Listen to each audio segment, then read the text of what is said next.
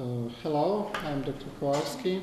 Mm, I'm chief of uh, the mm, metabolic and bariatric uh, mm, department of surgery, uh, KCM clinic in Jelenia Góra. Uh, what is the bariatric uh, and metabolic surgery? What I mean, this is the some procedures, for example, uh, sleeve gastrectomy, sleeve resection, gastric bypass, and uh, uh, plication gastrectomy. Uh,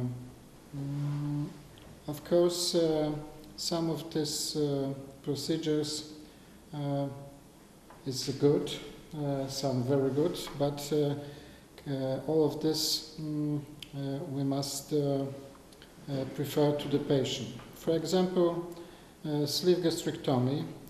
This is the most popular and most uh, uh, safety uh, procedure from this. This is we, like we look the, mm, the resection of the stomach. This is the part of the mm, uh, removed part, mm, portion of the stomach, and this is the new uh, stomach. This is the mm, uh, stapler line of uh, resection. Mm, what's uh, what's the, this the uh, sleeve gastrectomy? This is the mm, two two operation, two metabolic operation in one, because we've got the restriction operation because we've got the new stomach. This is the new stomach.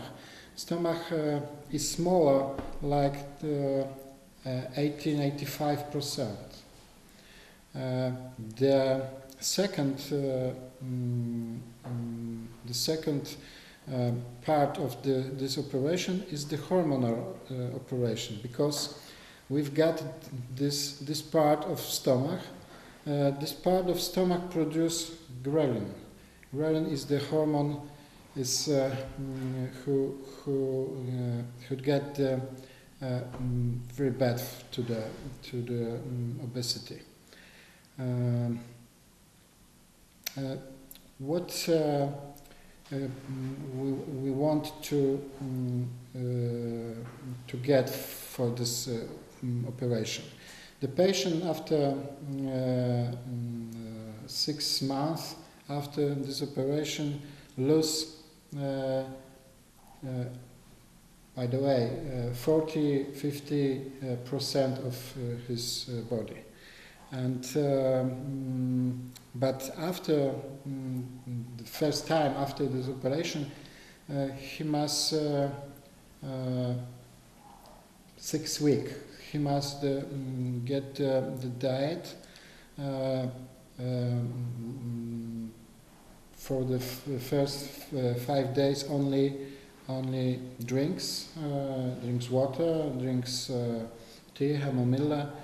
Mm, but after the uh, five days natural yogurt and other other part of the diet